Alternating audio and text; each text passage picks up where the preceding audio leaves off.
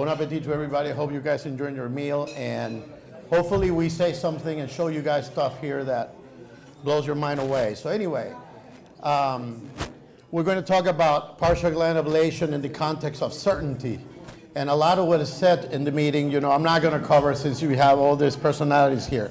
These are my disclosure statements, and we're going to go quickly through all these issues.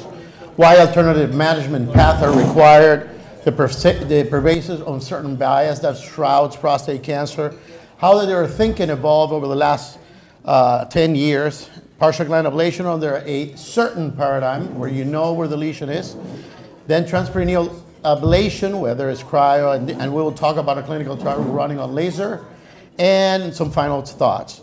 So why are we here? It's very simple, right? We know about the rise of cancer and also um, the unfortunately decline in screening that has led to the, uh, basically 100% rise in the incidence of metastatic disease over the last 10 years.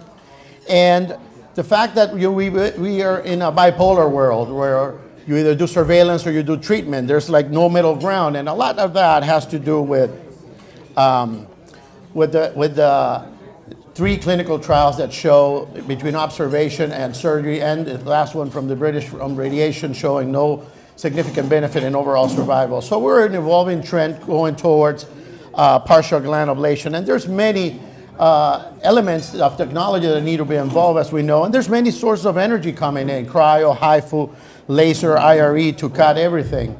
We have focused to do these procedures in the office setting. One of the need for focal therapy is the fact that most of the, if not all, most of the active surveillance patients will convert within a window of five years for all kinds of reasons and then you'll go the um, path of radical treatments with the consequences that bring. So when we think about partial gland ablation, or some, some people call it supra surveillance, we have to look into what elements are, are important in this discussion, right?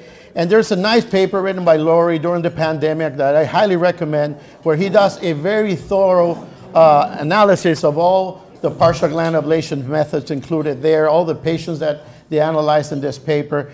And again, it looks at the incontinence rates by energy source or the erectile dysfunction rates. And we should come to terms in when, that when we do partial gland ablation, there should be certain outcomes that are not uh, tolerable, like incontinence.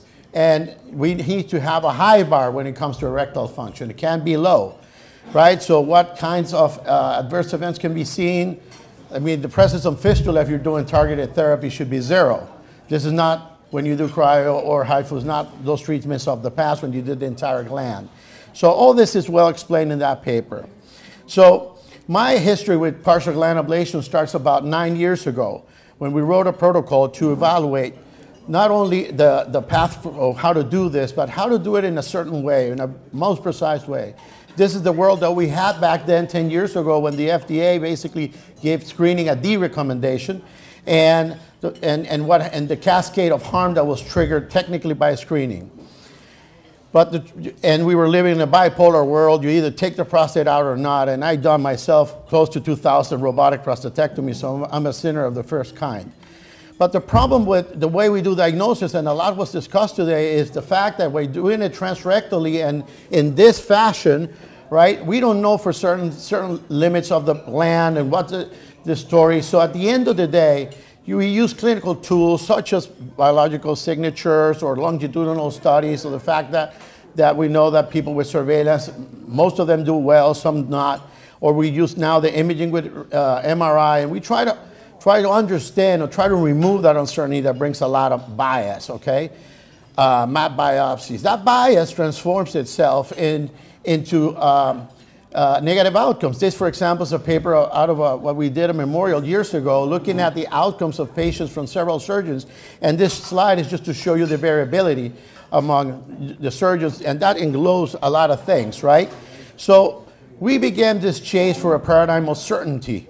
And in that, we wrote a protocol that was ample with plenty of inclusion criteria so we can have events. And events will tell us the story, and we can follow that over the years so that that is uh, running. And, and the slides are showing you, you know, the kind of characteristic. The most critical parts here were quality of life outcomes measured regularly and a biopsy uh, MRI guided fusion at a year. And this is the very first patient that I treated with partial gland ablation using cryotherapy back in 2013. And you could see how his PSA behaved. And then eventually this man needed a TURP. He had an 80 gram prostate years down the road, but he's been doing great ever since. Okay? A lot of what we do has to do with a, with a, with a system and methods uh, patent that I wrote and was recently approved in the United Kingdom and here in the United States. And the state waters our vision in terms of the management of this disease. And when we look at it, the way that we look at these lesions is to understand the paradigm. So we want to know where they are. We want to sample it in the same axis that we will treat them. Okay? So once we know where the tumors are, like it's showing in that little video, then it's easy to formulate the treatment plan. We do this through some proprietary algorithms that we can actually understand where are we going to go, and then this treatment is performed in the office setting under local anesthesia, which allows the physicians to be productive and then see patients in between and do other things. One of the best weapons is, one of uh, a strategic partner of ours that we have been developing the AI, and all this RN and all these MRIs were read by a computer showing the suspicious areas, and then this gets uh, outlined and co-registered into our system, and this is how this works. So we have a level of suspicion, the radiologist goes over and basically uh, approves or disapproves what they're seeing, and from there, we formulate the plan that's going into the uh, fusion system so the biopsy can be performed. And this is typically what we want to know. We want to know where the lesion is. We want to know the cores are positive. We want to know the cores are negative.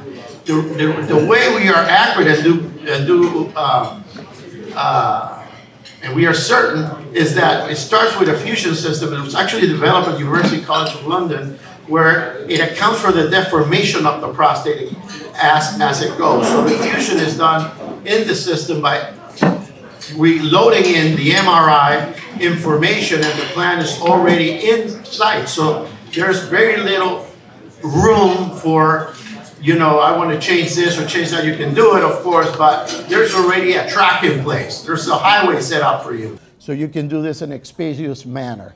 And then that plan goes into the modeling inside, and that then the next step is to really do the co-registration, which the only thing you need to do is understand how the prostate looks and, and essentially what's the outline. And then the system does the magic putting them together and telling you exactly where should go in order to get your sampling. And then eventually, once you know your samples and you know which ones are positive and which ones are negative, it's very easy to, for, we have algos that formulate the treatment plan. So you go using the same system, using the same axis, you go in and then you do this in the office setting under general, under, sorry, under local anesthesia, okay?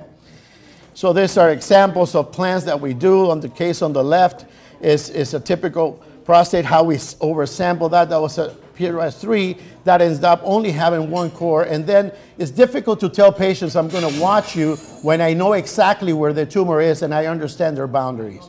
So many of them, and you don't have the same harm uh, that with focal therapy or targeted therapy that you can have with, um, with uh, prostatectomy radiation. So this is essentially the amount of cases that we've been doing over the years, and we're really uh, recognizing that this is expanding beyond cryo. We're doing laser, and there's other treatments uh, modalities that we're going to be doing. Back in, in early 2002, we did an analysis of the data of over a thousand uh, patients treated, uh, which about 76% of them were just targeted therapies with one year plus biopsies, and about 1,412 of them for which we found in-field recurrences or proven in-field recurrences in 15% of the overall sample, um, and a third of the ones that we did the biopsy. The, the, the, the, there were many of them that did not have a biopsy because their PSA were either flat or they did not have a rising PSA. And this is the, the, the study that we put out at the AUA. Uh, basically, this was going to be uh, discussed during the year of the pandemic in 2020. But essentially, what we found is that at one year, the MRI performed one year after the biopsy is the most important predictor of that positive biopsy. So if that MRI is negative, meaning it has no PI-RADS lesions in the areas that were not treated, and there's no enhancement in the areas that were treated, you, and your PSA is flat, you don't need to really repeat the biopsy. This is uh, an important plot because we had over now over 100 patients that have accomplished a five-year milestone, and basically we have not been able to see any, number one, the first story is that the rate of conversion to surgery radiation is less than 10%, and it has not correlated with the Gleason scores that they had when we went in. Granted, we have a 75% population that are either 3 plus 3 or 3 plus 4 or better. This is what to expect with the PSA. It's interesting the power that PSA has in alleviating anxiety when men sees a, a level in this. It, for us, the median's been 6.4, dropping to 1.7. And that's enough. I mean, coming from surgery, I always thought, you know, you need to see your PSA on zero. I was wrong. So with this data on board, we met at uh, the focal meeting from the Focal Therapy Society back in Washington just before the pandemic with people of CLS, and we started thinking about a clinical trial that could evaluate the use of laser, the feasibility, whether we could do it in the office setting. And the TRANBERG laser, which is done by, T, T, uh, by CLS, is a 1064 nanofiber. It fits perfectly through the grids. And the laser has been used in over 250 patients, most, most of them really in bore, and I believe in the United States was exclusively in bore. The paper by Feller, I highly recommend it, published in the Journal of Urology uh, in 2020, really explains the outcomes associated with in-bore MRI-guided laser in patients in treatment naive and and, and salvage of them. And the key there is that the SHIM scores remain constant, the PSS scores or, or urinary quality of life improves, and then a lot of their patients, a big majority, will have a negative biopsy. The, the, the TRANBERG laser is the laser fiber, of course, and then you need a trocar and an introducer for which you advance the, the, the, the management. So what we uh, proposed was to do this under fusion in the office setting, again, under general anesthesia. Our protocol was written and accepted by the IRB. We got approved end of March, and we recruited our first patient in August, uh, on April uh, 14th, and now we're almost done with this. It calls for 20 patients, and it calls for a man between 50 and 80, prostate volumes less than basically 100, with the characteristics shows on the MRI. We, the key things about this study is that patients get an MRI immediately after the treatment they get an MRI a month later, they get an MRI three months later, and essentially they get PSA measurements at the same time, and they get oncological assessments.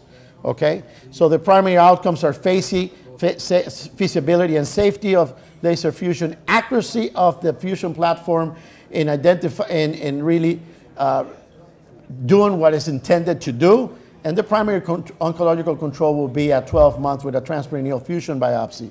Then we're looking at perioperative outcomes, urinary function, sexual outcomes, imaging outcomes, and of course, long term, we will see what happens with these folks as these patients will enroll into a registry that we have under uh, the Urological Research Network. So this is what you need. You need a fusion platform, an ultrasound machine with a bipolar probe and a stepper, and again, the fusion platform. And this is essentially how we do this. I mean, this is the transperineal block. We start by blocking the skin on each side to the raphe. We use roughly, uh, we tend to use 10 cc's of lidocaine 1%. This is being cut down now significantly because we're using uh, sublingual fentanyl, Dsuvia, and that really takes the pain to zero. After that, we pulled the stepper, we put in the, um, the periprostatic block as is shown in this video, and then we go ahead and do the actual treatment. And uh, I'll spend a couple minutes on this video. We once we have the patient block and ready, we advance the Foley catheter, we leave it in place. We don't need to cool anything off unless you know we know the lesions are close to the urethra. In that situation, we'll put a three-way Foley and basically irrigate it when we're applying the energy close to there. But the fusion, the first thing that happens, you acquire the imagings into the fusion system, and then essentially in the fusion system, you put the boundaries of the prostate. You say, what's the apex, what's the base, a few spots here and there of the boundaries on the prostate, and then the magic really comes in. This was developed by Dean Barratt out of UCL, uh, Dean Barratt's team in the bio um, engineering department. And essentially, it provides an algorithm that will basically do the fusion. And it's this type of deformable fusion we're talking. So now we know where we're going. The characteristic for this specific patients are listed on the right side of the panel. And now in real-time mode, we know where we're going to go.